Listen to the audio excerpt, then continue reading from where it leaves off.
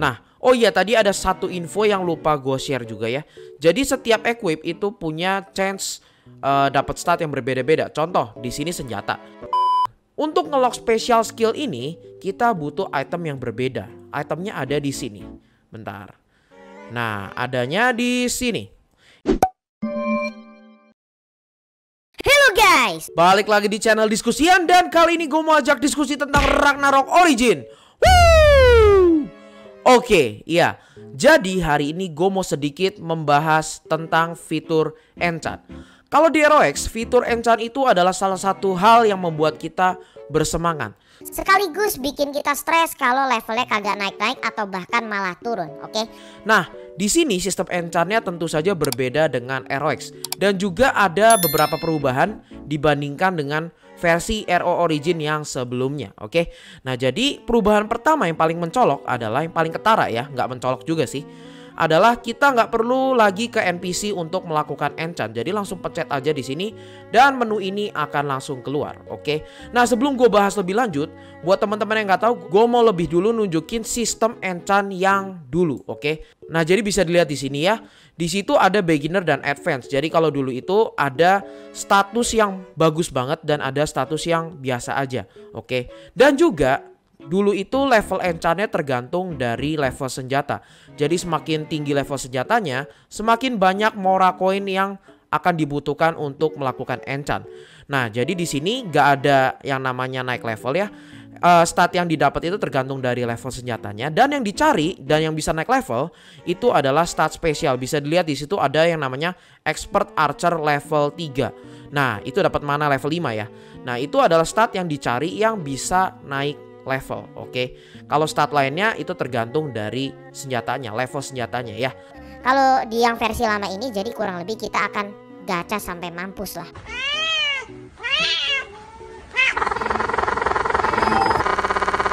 Walaupun ada kepastian di mana kita kalau nggak salah 50 kali gacha kita bisa dapat uh, stat spesialnya yang expert archer level 3 itu ya. Oke. Nah, sekarang kita balik lagi ke yang versi sekarang, oke. Yang sekarang ini nggak ada lagi status yang spesial dan yang biasa, semua jadi satu. Dan juga nggak lagi tergantung sama yang namanya level senjata. Jadi mau kita pakai senjata 50, 60, 70 sama aja, oke? Okay? Dan juga jadinya mora koin yang dibutuhkan itu akan lebih sedikit, ya, oke? Okay? Nah, cara dapat mora koin ini gimana? Ada banyak banget sebenarnya uh, pertama dari Endless Tower, lalu juga dari Helheim Disturbance. Ini tuh dungeon gitulah. Lalu Courage Shop, ini gue masih kurang ngerti ya. Pokoknya dapetnya bisa banyak banget dari daily sehari-hari lah. Dan juga tentunya kita bisa beli dari shop. Oke. Okay? Nah di sini ya Mora Coin 5 diamond satunya. Walaupun gue kurang suka ya kalau bisa langsung beli begini di uh, shop ya karena kalau misalkan di ROX kan harganya berubah-berubah. Kalau di sini tuh udah fix gitu harganya 5 diamond dan ya silakan beli aja. Oke. Nah, lalu akan muncul pertanyaan, "Bang, itu kan ada tiga stat ya?" Iya, gacanya di sini tiga stat. Bang, gimana caranya kita ngelock stat ini? Tentu saja statnya bisa di lock ya kalau kita udah dapat yang kita suka gitu. Nah, caranya adalah kita butuh yang namanya Advanced Confinement Stone. Oke, ini bisa drop dari mini dan tentu saja bisa beli di shop.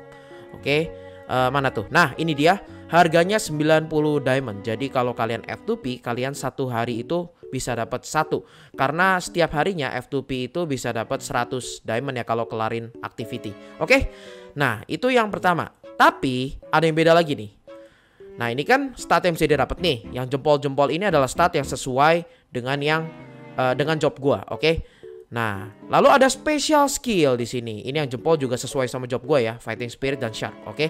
Untuk ngelock special skill ini, kita butuh item yang berbeda. Itemnya ada di sini. Bentar. Nah, adanya di sini. Ini dia, rare confinement stone. Jadi untuk kita bisa ngelock special uh, special stat tadi itu, kita butuh uh, rare confinement stone ini. Harganya 210 Miao Coin itu kalau di RP-in berapa ya? Kurang lebih ya murah sih sebenarnya sih. Eh, bentar, sorry, kok murah? Ya 150 dolar. Buset, mahal juga ya. Berapa tuh 150 dolar? Hmm, kok mahal ya? Butuh 2 juta kalau dihitung-hitung. Emotional damage. Tapi harusnya nggak segitu sih nanti kalau di global ya. Oke. Semoga aja nggak segitu karena kalau iya segitu itu mahal banget sih. Masa ya untuk ngelock stat doang kita butuh 2 juta rupiah. Gila kali. Oke. Sip. Jadi itu dia sedikit informasi yang perlu diketahui tentang enchant, oke? Sekarang kita akan coba untuk melakukan enchant ya. Nah, ini special skill tadi itu, special stat tadi itu bisa didapetin dengan kita 50 kali enchant ya. Oke. Jadi kita langsung aja lakukan enchant. Oh, tunggu ini chance atribut dulu karena udah level 3 ya. Kita enchant aja. Nah, ini kan nggak sesuai. Lalu kita enchant lagi. Oke, attack 10, em attack 10, eh attack 10, attack 10, em attack 1%. Oke, kita keep aja. Ini harusnya dapat spesial. Oh, 5 kali lagi. Oke, gua masih kurang ngerti sih tapi oke kita Keep aja ini bagus. Oke, lalu enchant lagi. Ya ampun, malah dikasih attack dikata gue mage kali ya. Oke. Oh, dia tuh turun. Oke, jadi 50 kali ya.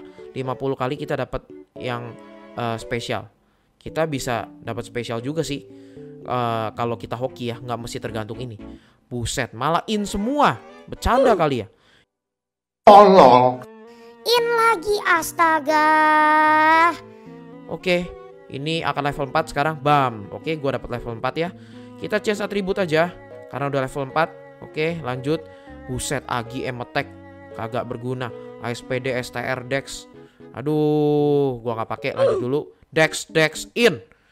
Astaga, nggak berguna. Lanjut. Oke, ada tagnya kita ambil aja. Lanjut lagi. Oke, ini bagus nih. STR, STR. Good, good, good. Sip. Ini udah mau level 5 ya. Emetek Agi Dex. Ya ampun Emetek lagi. Tidak berguna. Oh, dapat spesial. Tapi magic. Bercanda kali ya malah dikasih magic. Lu kata gua nge magic kali ya. Dukun apa gua? Oke, lanjut lagi ya. Kita lanjutkan lagi aja. Bodoh amat sama magic. Lo lo lo lo lo lo lo.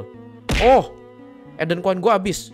Mahal banget. Bentar ya, gue cari Eden Coin dulu lalu kita akan lanjut enchant lagi. Eight hours later. Oke, akhirnya gue berhasil mengumpulkan sedikit tambahan Eden Coin ya. Jadi kita bisa lanjut enchant lagi, oke? Jadi di sini, sip. Nah, oh iya tadi ada satu info yang lupa gue share juga ya. Jadi setiap equip itu punya chance uh, dapat stat yang berbeda-beda. Contoh, di sini senjata. Senjata itu kita bisa dapat STR, In, Agi, Dex, dan juga special skillnya inilah ya. Nah, lalu kalau di armor itu akan berbeda. Kalau di armor kita bisa dapat fit, look, dan kawan-kawannya. Ini special skillnya juga beda. Nah, tapi kalau di armor ini kita bisa dapat in, fit, look, ya kan? Ininya juga beda lagi. Pokoknya macam-macam dah. Ini juga beda lagi. Di sini bisa dapat STR, look, fit. Ini juga beda lagi. Pokoknya semua beda-beda. Setiap uh, bagian dari armor atau bagian dari equip itu bisa kasih uh, stat yang beda-beda. Oke, kita lanjut enchant di sini dulu ya. Sip. Dua kali pencet lagi kita akan naik level. Oke. Ini magic buang aja nggak berguna. Lanjut aja langsung enchant. Oke, em attack. Semakin tidak berguna saja. Oke, lanjut lagi. Buset. Dapat tawaran. Sumpah ini mirip banget sama Ninu Ninu anjir. Oke. Sip, ini akan jadi level 5. Oke, mantap. Level 5 kita change attribute aja. Lanjut lagi kita enchant dikit lagi ya. Sumpah ini boros banget anjir. Enchant-enchant kayak gini bisa tekor gua. Boncos ini lama-lama. Mana disuruh 50 kali pula. Oke, ini bagus kita ambil aja. Sip. Lanjut lagi ya. Door. Nah, pasti gue dikasih emetek in, emetek in. Heran gue. Oke. Pencet lagi, sip. Buset, sekarang butuh 12 kali untuk ke level 6 ya. Jauh juga. Astaga, Mora koin gue udah mau habis. Ya, buset. 11, 12. Oke, kita biarkan di level 6 aja. Aduh, sekali lagi. Oke, ya ampun. Aduh, sedih banget gue mah dapetnya. Aduh, aduh galau udah begini dah. Attacknya cuma satu sekali lagi. Boom. Mampus gua dapetnya makin gembel astaga. Hah, tadinya rencana gue mau enchant di sini, di sini juga. Ternyata Mora koin gue udah keburu habis duluan. Gak apa-apa. Kita klik terakhir kalinya aja ya. Yuk, semoga dapat bagus. Door. Oke, gini dong. Walaupun masih ada emoteknya tapi ya udahlah. lumayan. Sip, kita change attribute aja. Ya, jadi itu dia tadi sedikit encan-encan di Arrow Origin 2.0 ya. Menurut gua sebenarnya sih kalau dibandingkan sama sistem enchant di ROX itu 50-50. Karena yang seru dari ROX itu statnya gacanya satu-satu. Jadi kita nggak perlu tambahan shop-shopan, nggak perlu tambahan top up untuk uh, mempertahankan stat yang kita mau gitu. Tapi kalau di sini untuk ngunci stat-stat kayak gini kita perlu tambahan uh, barang, tambahan item dari shop ya. Oke, itu yang bikin agak kurang aja. Tapi sebenarnya naik levelnya di sini dijamin, oke? Okay? Jadi misalkan ini level 6 mau ke level 7 kita harus pencet enchant 14 kali. Itu dijamin naik. Kalau di ROX enggak. Mau kita pencet 100 kali pun kalau kita nggak hoki ya suram, oke? Okay? Jadi kurang lebih itu dia bedanya sih. Tapi kalau misalnya disuruh pilih yang mana, gua masih pilih seruan enchant di ROX sebenarnya. Nah, kalau teman-teman gimana? Apakah teman-teman lebih suka sistem enchant di RO Origin 2.0 atau di ROX? Coba share di kolom komen ya. Oke mungkin sekian aja video kali ini. Like kalau suka, dislike kalau nggak suka. Dan see you di video selanjutnya. Bye.